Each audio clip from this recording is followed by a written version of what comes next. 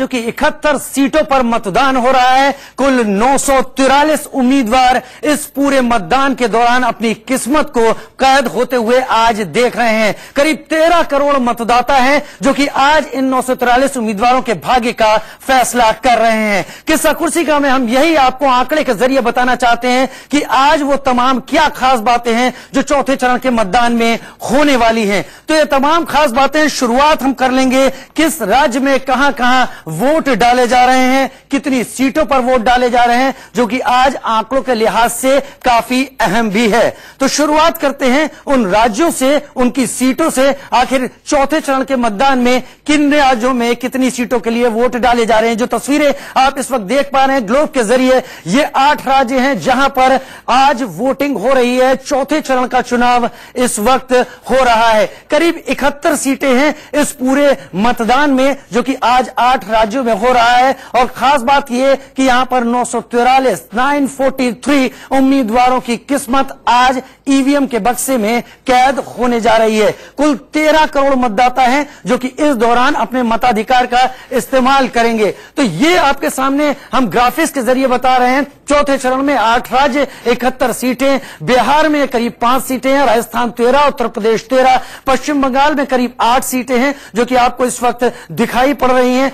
साथ ही झारखंड की तीन सीटें बिहार की पाँच सीटें मध्य प्रदेश छह महाराष्ट्र में सत्रह सीटें हैं करीब। तो महाराष्ट्र में सबसे ज़्यादा सीटें हैं और सा, साफ़ बात यहाँ पर यह कि महाराष्ट्र में आखिरी चरण का ये चुनाव इस वक्त हो रहा है। तो तमाम चीज़ें जो आप देख पा रहे हैं आंकड़ों के ज़रिए खास तौर पर आज के चुनाव में वो कौन कौन सी बातें हैं जो अहम यहाँ पर नज़र आ रही हैं हमको धीरे धीरे तमाम आंकड़ों में हम उनकी भी बात करेंगे। वो लोग जो आज खास कैंडिडेट हैं मेन कैंडिडेट हैं। सीटों के बारे में हमने आपको लगातार बता दिया किस राज्य में कितनी सीटें हैं। तेरह सीटें राजस्थान, तेरह सीटें उत्तर प्रदेश, पश्चिम बंगाल में आठ सीटें हैं। तमाम ये खास बातें हैं आज के मतदान की, इस पूरी चुनाव प्रक्रिया के दौर की, जिसमें कि चौथे चरण में ये सब तमाम चीज़ें हो रही हैं।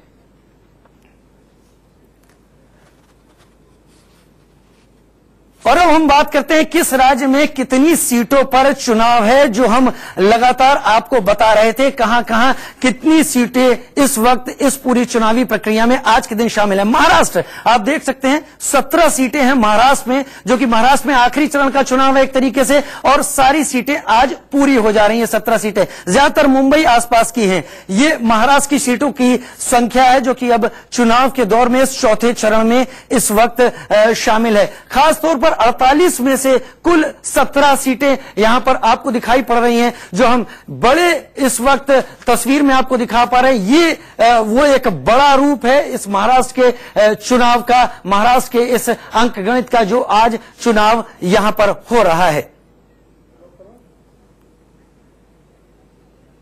और अब बात कर लेते हैं हम राजस्थान की। राजस्थान में कितनी सीटें चुनाव के इस दौर में सामने आने वाली हैं? अब आप देखिए यहाँ पर ग्लोब के ज़रिए, ग्लोब में वो जगह आएगी। राजस्थान स्टेट कितनी सीटें हैं? तो तेरह सीटें हैं। राजस्थान के चुनाव में कांटा इस वक्त टक्कर की, यहाँ पर दोनों ही दलों में, जहाँ तक बीजेपी और कांग्रेस की बात कहें, कांटे की टक्कर दोनों में दिखाई दे रही है। राजस्थान की इन तेरह सीटों के लिए तो खासतौर पर महाराष्ट्र सत्रह, राजस्थान तेरह एक अहम हिस्सा है, जिस पर बीजेपी और कांग्रेस दोनों ही अपनी नज़रें जमाए हुए हैं। इन दोनों राज्यों के साथ ही बचे हुए छह राज्य हैं, जिसमें अब नाम आ जाता है उत्तर प्रदेश का। कहते हैं इसी राज्य से देश को प्रधानमंत्री अक्सर मिला करता है और बीजेपी का कहना है कि इस बार भी वहीं से मिलेगा। गठबंधन का कहना है वहीं से मिलेगा। तो आज उत्तर प्रदेश में भी तेरह सीटें इस वक्त जहाँ पर लोग मतदान कर रहे हैं। सभी सात चरणों में उत्तर प्रदेश हर एक चरण में वोटिंग के लिए जा रहा है। लेकिन महाराष्ट्र की जैसे हमने बात की, आज उसका आखिरी चरण है। सभी सत्रह सीटें चुनाव पर जा रहे रही हैं। और अब बात करते हैं पश्चिम बंगाल की।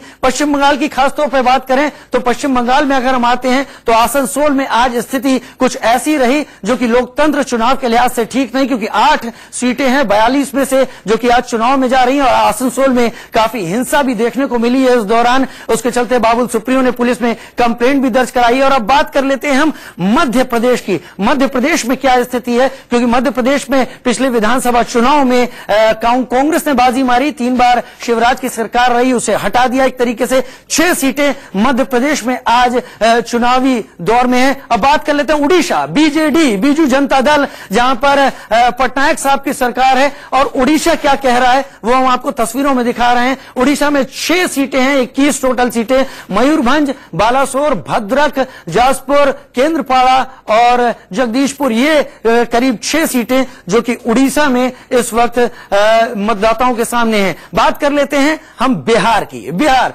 राजनीति का खास केंद्र और बिहार में नीतीश कुमार के साथ गठबंधन है, बीजेपी का, एनडीए का। यहाँ पर पाँच सीटों में चुनाव है। वो पाँच सीटें क्या है? हम यहाँ पर आपको दिखा रहे हैं, आप इस तरफ़ देखें उन पाँच सीटों को गौर से।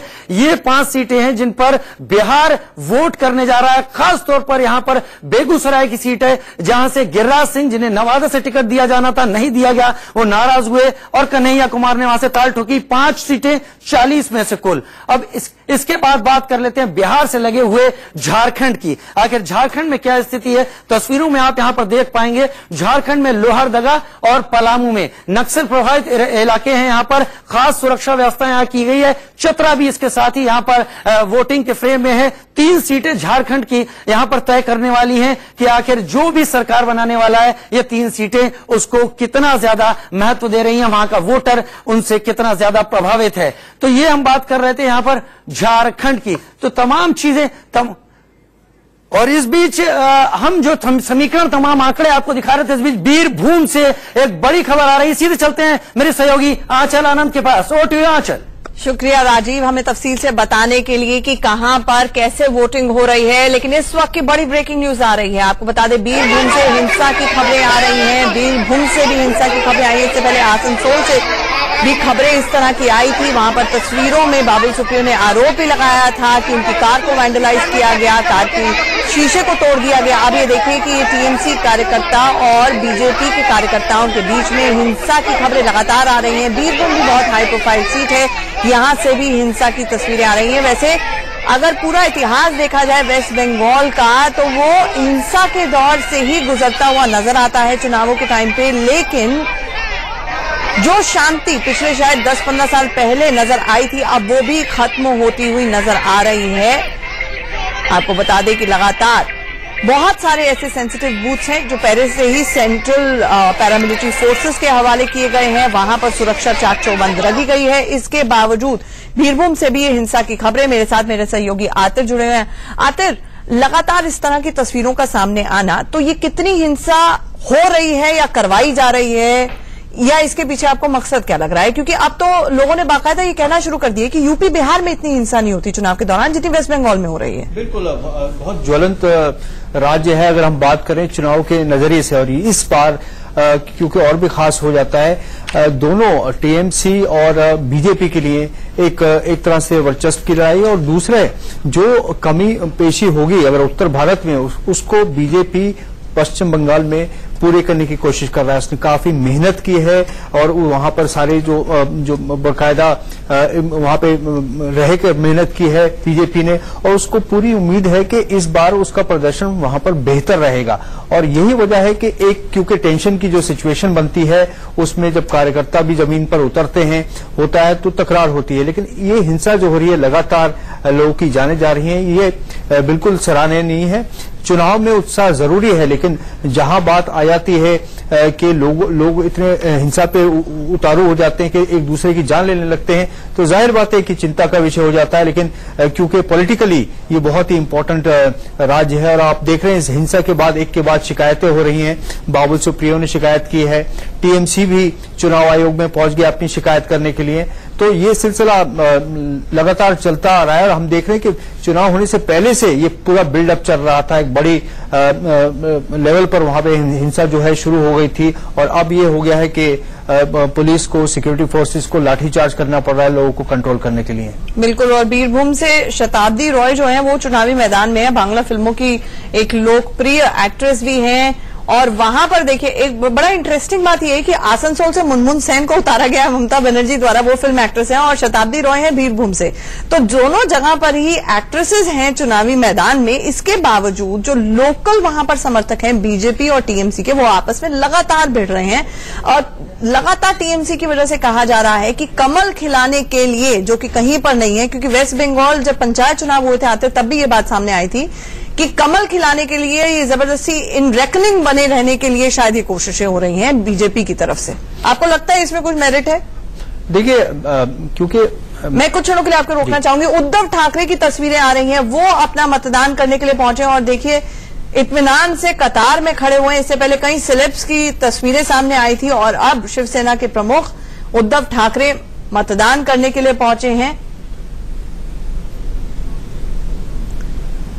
उनके साथ उनका परिवार भी है। मेरे ख्याल से आदित्य ठाकरे पीछे खड़े हुए नज़र आ रहे हैं। वो भी मतदान करने के लिए पहुँचे हैं। और बहुत इंटरेस्टिंग और दिलचस्प बात यही रही चुनावों के अंत तक आते आते मुझे लगता है लास्ट फाइनल राउंड में बीजेपी और उद्धव ठाकरे, यानी कि अमित शाह और उद्धव ठाकरे के बीच में दे ब्रोकर पीस उसके बाद सीटों का बंटवारा हुआ। और उसके बाद से चाहे वो अमित शाह का नामांकन हो, चाहे प्रधानमंत्री का नामांकन हो, उद्धव ठाकरे हर जगह पर साथ नज़र आ रहे हैं। इतना कोसने के बाद बिल्कुल बिल्कुल। आप देखिए मुस्कुराते हुए नज़र आ रहे हैं। और एकदम काम लग रहे हैं काफ़ी आत्मविश्वास भी नज़र आ रहा है और पूनम महाजन है साथ में। जी जी। तस्वीर को ठीक से नहीं। पूनम महाजन भी साथ में नज़र पूनम महाजन भी हैं साथ में। तो ये जो एक तरह का गठबंधन है ये बहुत ज़रूरी था बीजेपी और शिवसेना के लिए भी कि वो दोनों को एग्जिस्ट करें। और पिछली बार जो उनका परफॉर्मेंस रहा उसको एक बार फिर से दोहराएँ। बिल्कुल 48 सीटें दांव पर हैं। आज 17 सीटें महाराष्ट्र की वोटिंग पर हैं और बीजेपी कह रही है कि वो छक्का मारेगी कम से कम मुंबई की छह सीटों पर। इन्हीं तस्वीरों के साथ एक छोटे से ब्रेक के लिए रुक रहे हैं हमारी महाकवरेज जारी।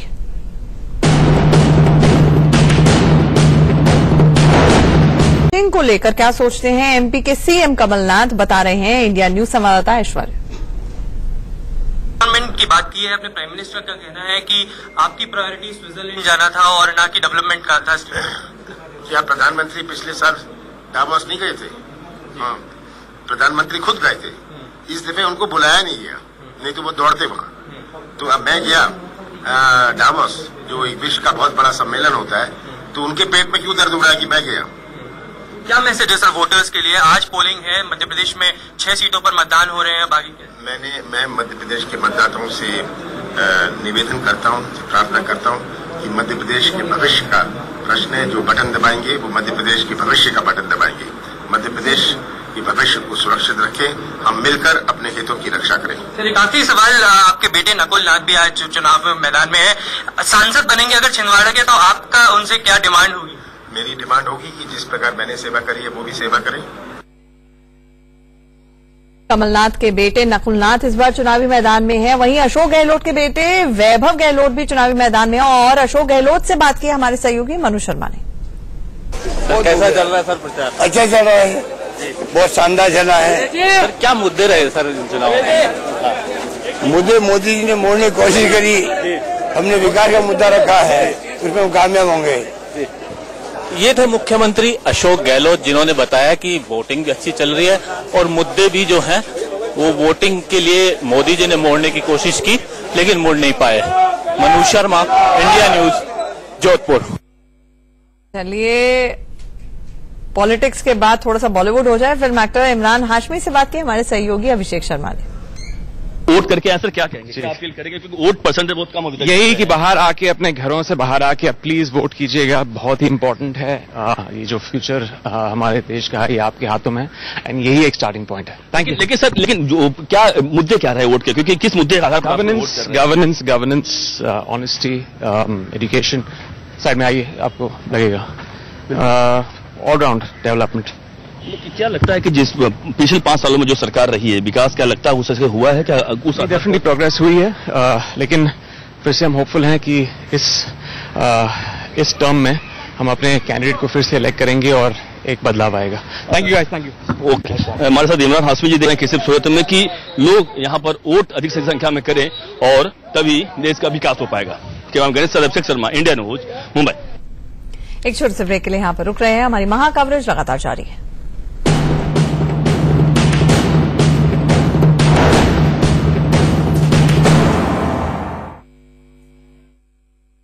स्वागत है आपका इंडिया न्यूज़ में। नमस्कार, आपके साथ हूँ मैं राजीव शर्मा। आठ राज्यों की इकहत्तर सीटों पर वोटिंग जारी। 12 बजे तक करीब 25 फ़ीसदी वोटिंग हो चुकी है। देश के आठ राज्यों में इकहत्तर सीटों पर इस वक्त मतदान चल रहा है। हर कहीं लोग भारी तादाद में निकल रहे हैं। 12 बजे तक करीब चौबीस फ़ीसदी वोटिंग।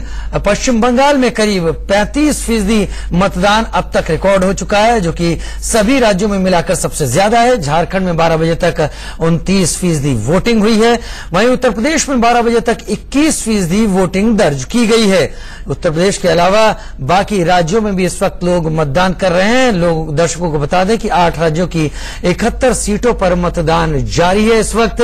बिहार में अट्ठारह दशमलव दो छह फ़ीसदी, ये ग्यारह बजे तक का आंकड़ा बिहार का हम आपको बता रहे हैं। मतदान हुआ है यहाँ पर। इसके अलावा हम बात करते हैं जम्मू कश्मीर की, जहाँ पर ग्यारह बजे तक तीन दशमलव सात चार फ़ीसदी मतदान हुआ है। और वहीं हम अगर बात करें मध्य प्रदेश की तो छह सीटों पर करीब छब्बीस दशमलव छह दो फ़ीसदी मतदान सुबह 11 बजे तक दर्ज किया गया है। चौथे चरण के चुनाव में महाराष्ट्र में गया सुबह 11 बजे तक सोलह दशमलव चार सात फ़ीसदी मतदान दर्ज किया गया। और राजस्थान की पूर्व मुख्यमंत्री वसुंधरा राजे से बात की हमारे संवाददाता अभिमन्यु सिंह ने। देश में चौथे चरण का मतदान आज हो रहा है और कहीं न कहीं राजस्थान का ये पहला चरण है। और उस पहले चरण में कई हाई प्रोफ़ाइल सीटें हैं। उनमें से एक है झालावाड़ बारह की सीट, जिस पर पूर्व मुख्यमंत्री वसुंधरा राजे के पुत्र तीन बार से सांसद दुष्यंत सिंह मैदान में हैं। वसुंधरा राजे जी हमारे साथ मौजूद हैं, उनसे बात करेंगे। तीस सालों से इस परिवार का, इस क्षेत्र के अंदर काफ़ी दबदबा है। क्या कहेंगे मैडम, पहली बार 89 में आप यहाँ आए। जब से लगातार जीत का सिलसिला बरस्तूर जारी है। देखो, सब, बहुत सारे लोगों को ये सौभाग्य नहीं मिलता जो मुझे मिला। जब से मैं यहाँ आई हूँ, यहाँ के लोगों ने मेरे को अपने परिवार में लेने की समाने की, काम किया है। और तीस साल से हम लोग एक साथ इस क्षेत्र के अंदर काम कर रहे हैं। इसलिए मेरा मानना है कि ये चुनाव दुष्यंत या मैं नहीं लड़ रही। जैसे पहले अभी तक आते गए हैं हम लोग, उसी तरीके से झालावाड़ सब एक होके लड़ रहा है। इसलिए आप जब पूछते मेरे को रिलैक्स क्यों है, मैं इसलिए रिलैक्स है क्योंकि मुझे मालूम है कि मेरे से ज़्यादा वो लोग केयर कर रहे हैं। कहीं ना कहीं ये पहला चरण है, तेरह सीटों पर चुनाव है। झालावाड़ की अगर हम बात करें तो जिस तरीके से झालावाड़ और बारा का क्षेत्र रहा है क्या मानते हैं? क्योंकि बीजेपी से ही जो छोड़कर, पार्टी छोड़कर आपके सामने मैदान में है और जब आपका चुनाव था विधानसभा का, तब भी एक भारी कैंडिडेट यहाँ पर आकर चुनाव लड़ा था। क्या चुनौती है देखो, चुनौती मुझे नहीं लगता कि ऐसा कोई है। प्रधानमंत्री सब चाहते हैं कि नरेंद्र मोदी जी बने और ये चुनाव प्रधानमंत्री जी का, देश का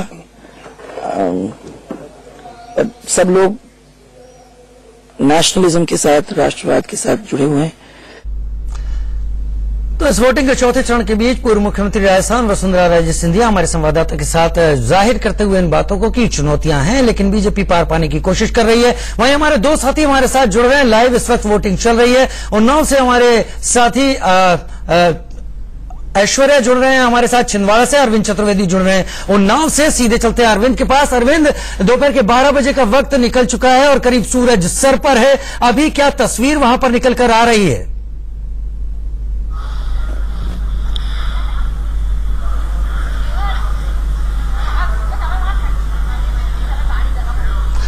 अरविंद के पास हम जाने की एक बार फिर कोशिश करेंगे। तकनीकी दिक्कतें ऐश्वर्या हमारे साथ छिंदवाड़ा से इस वक्त जुड़े हुए हैं। ऐश्वर्या, छिंदवाड़ा गढ़ है मुख्यमंत्री कमलनाथ का। लंबे वक्त से वहाँ पर सांसद हैं। अब उनके बेटे वहाँ से दावेदारी अपनी उन्होंने रखी हुई है और चुनाव लड़ रहे हैं। और जैसा कि आपकी बातचीत हुई थी कमलनाथ का भी कहना है कि जैसे मैंने सेवा की, मेरे बेटे को सेवा करने का मौका मिलेगा। तस्वीर क्या देख पा रहे हैं? कितना जोश है वहाँ पर मतदाताओं में? किस तरह से, किन मुद्दों पर छिंदवाड़ा में वोट चल रहा है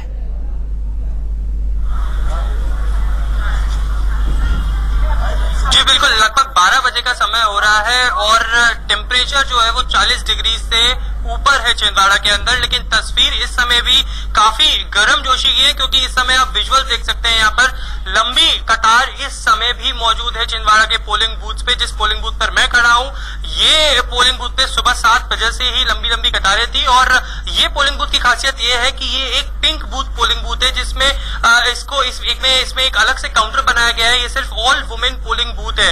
लगभग बारह बजे की बात की जाए तो अट्ठाईस प्रतिशत तक मतदान छिंदवाड़ा में हो चुका है, और अब यहाँ से देखना होगा कि क्या पिछली बार का रिकॉर्ड छिंदवाड़ा पोलिंग के माध्यम से अपना तोड़ पाता है या नहीं तोड़ पाता। यहाँ पर मैं कई लोगों के साथ जुड़ चुका हूँ जो यहाँ पर मतदान करने के लिए आए और उनसे जानेंगे कि क्या मुद्दे हैं किन मुद्दों पर आप यहाँ पर आज वोट डालें प्रगति विकासशील देश के लिए। आप बताइए किन मुद्दों पर आप वोट डालने आए हैं? क्या मुद्दे हैं यहाँ पर? छिंदवाड़ा का विकास बेरोजगारी दूर हो उद्योग धंधे लगे आप बताइए। छिंदवाड़ा का विकास बेरोजगारी। क्या लगता है नेशनल सिक्योरिटी भी एक मुद्दा है इस बार चुनाव हाँ है। वो तो मेन है। आप बताइए। छिंदवाड़ा विकास। छिंदवाड़ा का विकास की बात कर रहे हैं चालीस सालों से कमलनाथ यहाँ के एमपी रह चुके हैं उनके अब बेटे यहाँ पर आए हैं। क्या लगता है कि उसी तरीके का ट्रांसफॉर्मेशन उनके बेटे भी कर पाए ये तो नहीं कह पाऊँगा। फ़र्स्ट टाइम वोटर्स भी हैं यहाँ पर। आप पहली बार यहाँ पर वोट डाल रहे हैं। क्या क्या आपकी विचारधारा है? क्या आपका मैं तो कॉलेज से हूँ कॉलेज स्टूडेंट हूँ तो ज़्यादातर मेरे को एजुकेशन के ऊपर जी आश समझ पा रहे हैं वहाँ पर लोगों में कितना जोश है, कितना उत्साह है। लोग किन मुद्दों पर वोट डाल रहे हैं और बहुत बेहतरीन पोलिंग स्टेशन जहाँ पर दोपहर के वक्त भी काफ़ी भीड़ लगी हुई है। आपसे बात करेंगे, आगे भी अपडेट लेते रहेंगे, लेकिन फ़िलहाल अजमेर से तस्वीरें आ रही हैं एक पोलिंग बूथ से, जहाँ पर लोग बैंड बाजे के साथ वोट डालने पहुँच गए।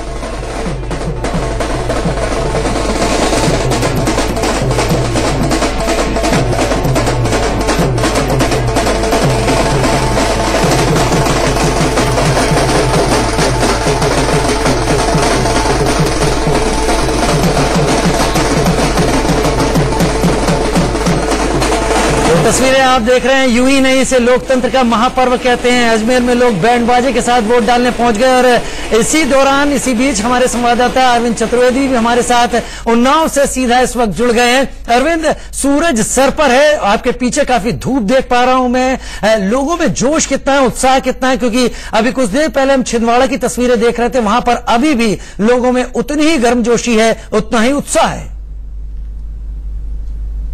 राजू देखिए अगर उन्नाव की हम बात करें तो अभी तक 28 परसेंट की पोलिंग हो चुकी है और यहाँ पर त्रिकोणात्मक मुकाबला है साक्षी महाराज अनु टंडन और अन्ना महाराज में। आप ये देखिए कि पीछे लोग अपना वोट पोल करने के लिए जा रहे हैं जैसे जैसे आ, लोग अपना जो नृत्य कर्म है उसको खत्म करके और देखिए कुछ लोग वोट अपना पोल करके आ रहे हैं। तो लोगों में उत्साह तो है जोश तो है। और मैं राजू आपको ये भी बता दूँ कि मुद्दे बड़े अलग अलग है। देखिए अभी दो लोग वोट करके आ रहे हैं उनसे हम पूछते हैं कि आखिर किन मुद्दों को लेकर आपने वोट किया। आप लोग यहाँ पर वोट करने के लिए आए थे। आपके मन में क्या मुद्दा है? किस बात को लेकर आपने वोट किया? बेसिकली uh, जो एक हम लोगों के दिमाग में एक मुद्दा है वो है विकास का। हमारे नेशन का जो है वो नाम सब जगह अच्छा हो विकास हो रोज़गार मिले ये सारी चीज़ें ऑल ओवर डेवलपमेंट जो है वो हम लोगों का एक माइंड आपको क्या लगता है जी क्या मुद्दा है? प्रधानमंत्री बहुत मज़बूत होना चाहिए कर्मठ होना चाहिए। देश का विकास करने वाला होना चाहिए। यही मुद्दा है। यही मुद्दा है। बड़ी साफ़ भाई के साथ अब जो मतदाता है अपना बात रख रहे हैं अरविंद और देख पा रहे हैं वहाँ पर लोगों में गर्म जोशी है उत्साह भी है और लगातार वोट डालने पहुँच रहे हैं लोग। बहुत शुक्रिया अरविंद चतुर्वेदी इस तमाम जानकारी के लिए। फ़िलहाल बुलेटिन में छोटे से ब्रेक का वक्त है। जल्द हाजिर होते कहीं मत जाइए।